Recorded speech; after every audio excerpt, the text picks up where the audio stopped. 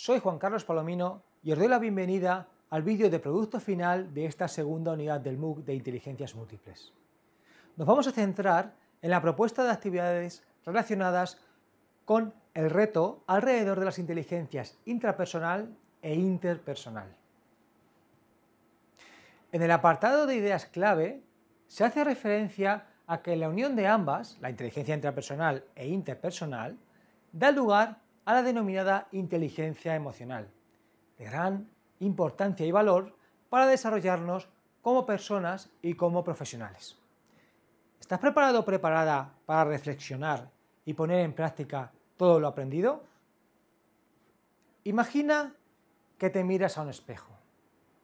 Ten sinceridad con las respuestas y aprovecha la ocasión para analizar hasta qué punto has desarrollado tu inteligencia intrapersonal e interpersonal. La primera actividad es realizar reflexiones personales en torno a tu autoconocimiento y control emocional, así como de la interacción con los demás y la importancia que tienen en tu vida las relaciones personales.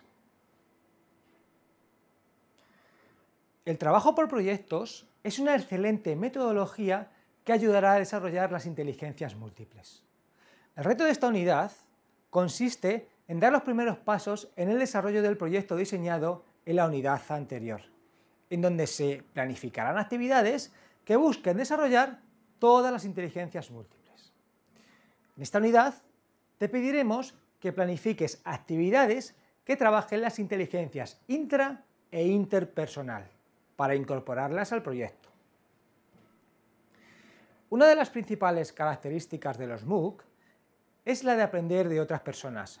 Por eso, es recomendable que utilices herramientas digitales para confeccionar tu propuesta, de manera que luego puedas publicarla y compartirla a través de la red.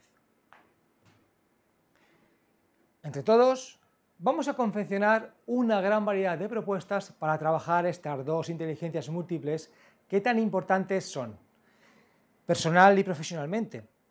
No olvides compartirlas en nuestro ágora virtual, las redes sociales, con el hashtag Intelimuc. ¿Vamos a por ello? Esperamos con impaciencia vuestras interesantes aportaciones.